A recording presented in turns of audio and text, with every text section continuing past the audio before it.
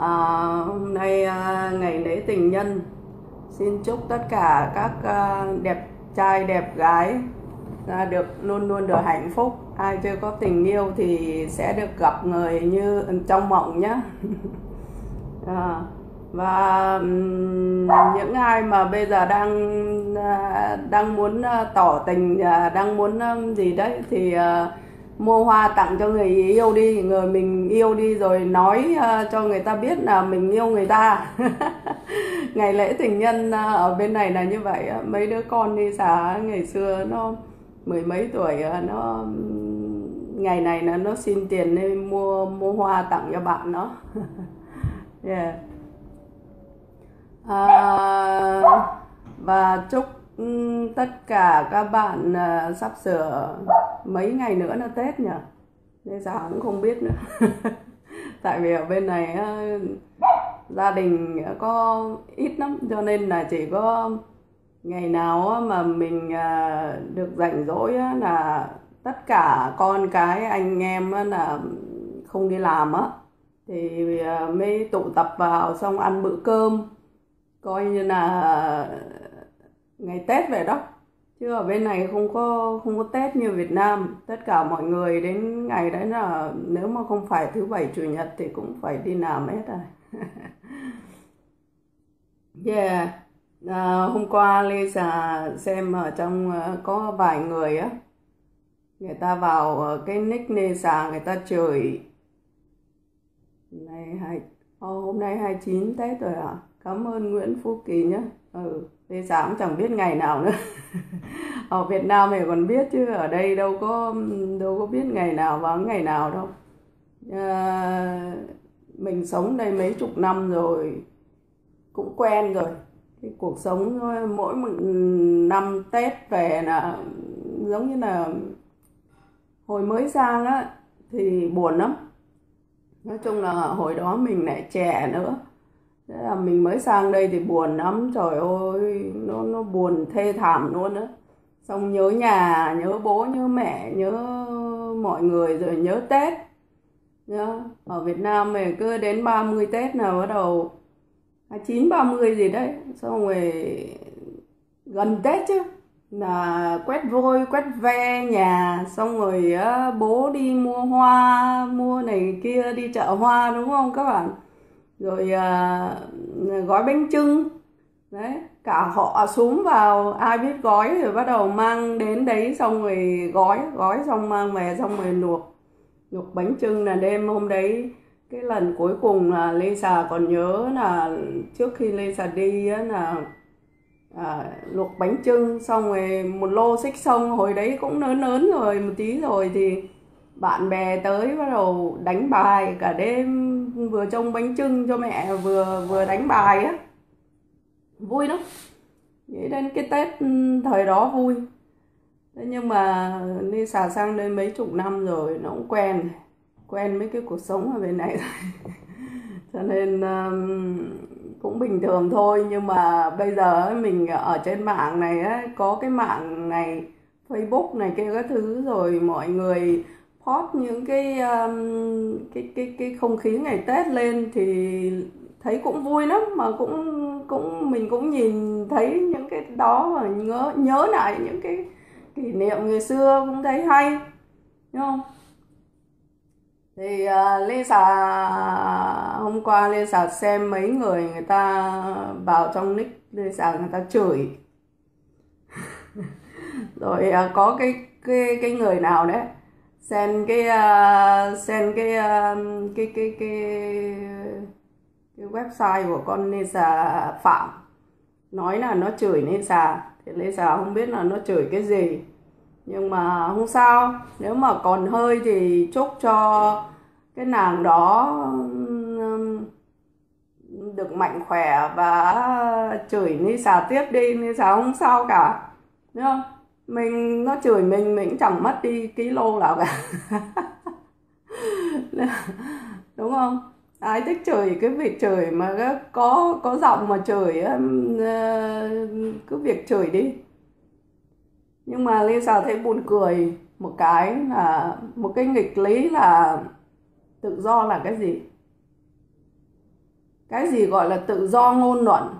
Cái gì gọi là nhân quyền cái gì gọi là tự do mà các người sống ở bên này suốt ngày nói là đấu tranh cho Việt Nam để cho Việt Nam ờ, không bị à, à, à, cái gì? Cái gì Việt Nam ờ, cái gì ờ, tự do cho Việt Nam á? Vậy thì tại sao các người lại lại chửi tôi? Đúng không? Khi mà tôi sống ở cái đất nước tự do này, tôi muốn nói lên cái sự suy nghĩ của tôi. Thì tại sao các người lại lại ngăn cản, lại chửi bới, lại đe dọa? Cái đấy có phải một cái mà phận tự các người vả vào mồm các người không? Đúng không? Lisa cũng phải đấu tranh cho chính bản thân Lisa chứ. Lisa ở đây, cái đất tự do này và Lisa không phạm vào cái pháp luật ở cái đất nước này nhưng chính những cái người mà thường lên đây chửi Việt Nam, rồi là nói là đấu tranh cho tự do, cho nhân quyền ở Việt Nam, thì lại lại chửi tôi, lại không cho tôi nói. Khi mà tôi nói ra những cái điều gì ở trong đầu, cái sự suy nghĩ của tôi thì các người lại chửi. Vậy thì các người có thấy là tự các người vả vào mồm các người không? Đúng không? Còn chửi những cái mang những cái phụ tùng cơ thể ra rồi chửi rồi ừ, mặt con này con kia rồi xin lỗi các bạn. Và xin lỗi tất cả mọi người chúng con người chúng ta chui từ đâu ra vậy? Đúng không?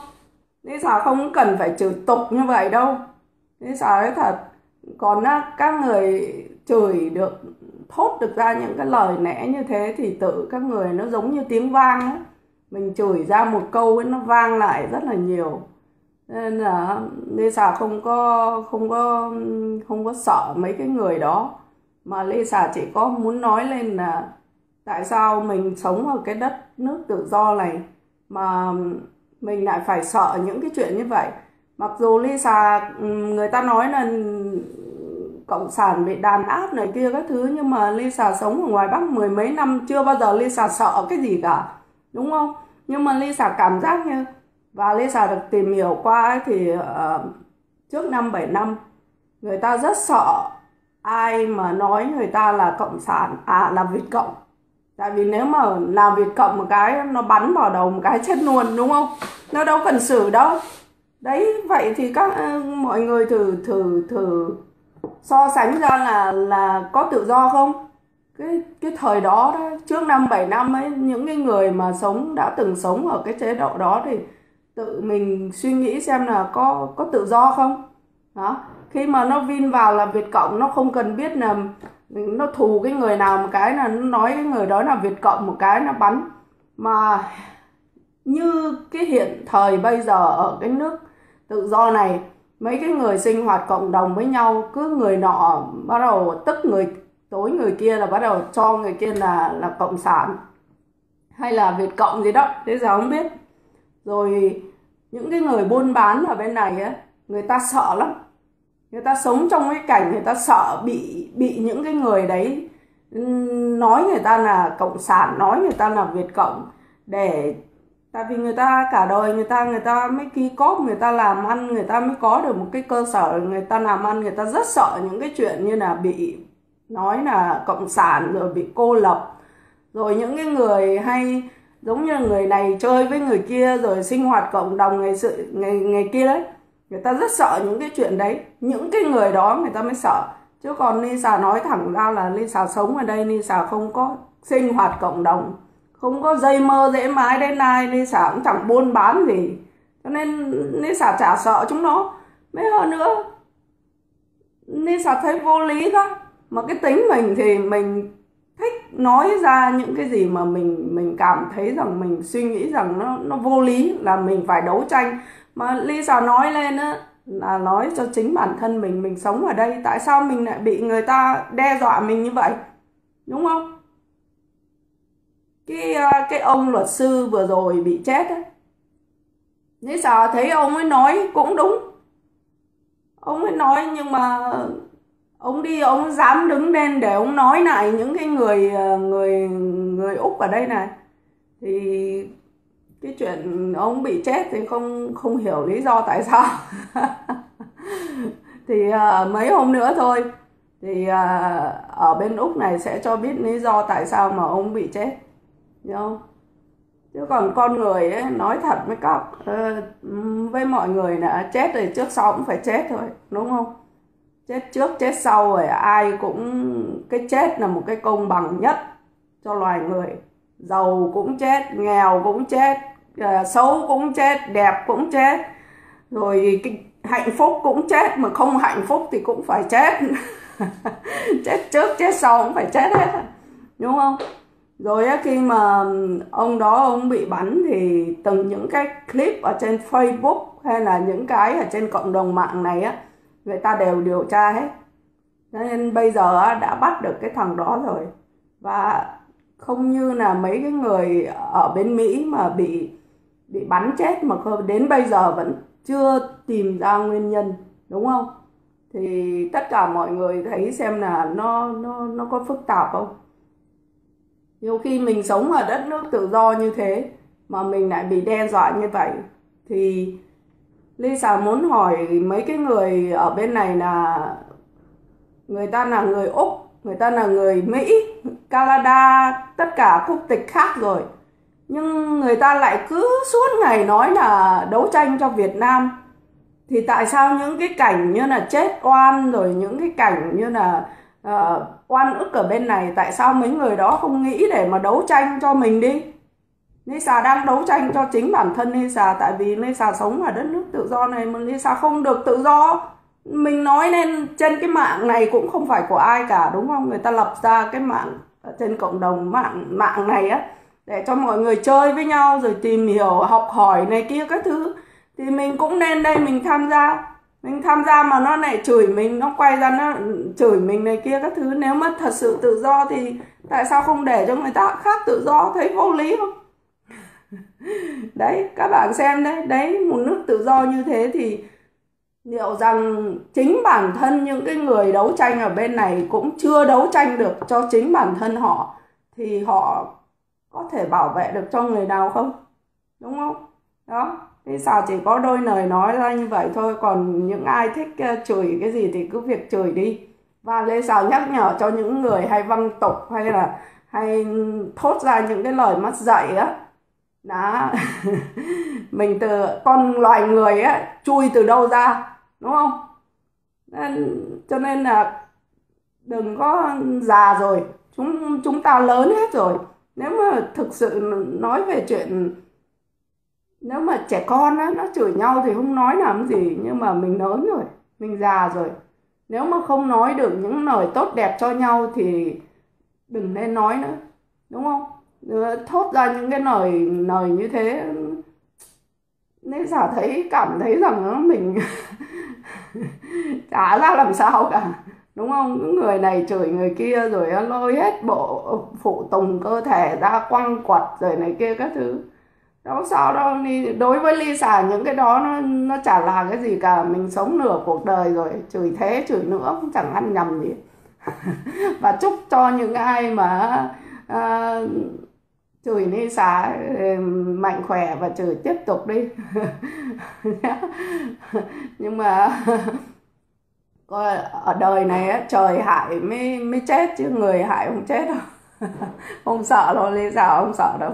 Ờ, không Lisa luôn luôn đi ra ngoài đường như như Lisa kể cho chuyện hôm nâu rồi Lisa mang tiền gửi về cho bố mẹ. Thế đi ra cái chỗ uh, chợ đấy. Lisa đang đi thế này, khoác cái túi ở đây, trong cũng có hơn ngàn đồng thế là Lisa mới khoác cái túi này. Thế đang đi, tự nhiên không biết tại sao Lisa nhìn vào, hình như mình đi nhầm rồi sao thế là Lisa quay ngoắt lại. Thì có một thằng ở bên này và một bà người Việt Nam ở bên này. Cái thằng ấy nó quay, nó đang đi thế này nhá, nó đang đi thế này. Đi xào quay lại một cái thì nó dở vờ nó nhấc cái phone lên, nó quay người lại. Xong rồi hai đứa nó đi sang bên kia đường.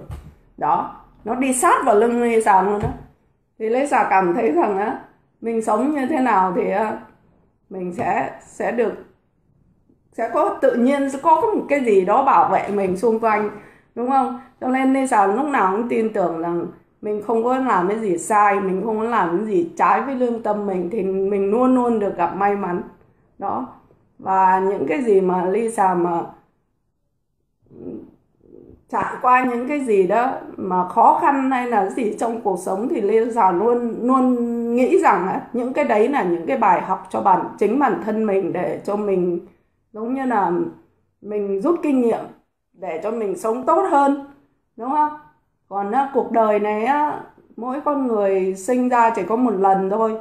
Và mình sống mình cái hạnh phúc nhất là mình làm muốn làm cái gì mình được làm đó đúng không? Nhưng mà bây giờ Lisa có gì sự suy nghĩ gì hay là Lisa muốn muốn những cái gì trong cuộc sống mình hay là mình biết cái gì ấy, mình muốn cho mọi người biết chia sẻ với mọi người đó cũng là một cái hay đó cũng là một cái việc làm cho người khác đúng không? Nên cuộc sống mỗi người nên xào đọc ở trong cái người tiếng người anh ờ, trong tiếng anh nó có một cái câu là mình học những cái kinh nghiệm từ những cái người bị thất bại đó. Đó, mình nhìn thấy người ta thất bại, những cái người mà người ta bị thất bại đó mình học được từ ở người ta rất là nhiều. Cho nên là người ta chia sẻ cho mình thì mình mình lấy cái đó để mình làm cái bài học cho mình. Ok à, cảm ơn các bạn lắng nghe Lisa nhé. Lisa có vài câu uh, chia sẻ.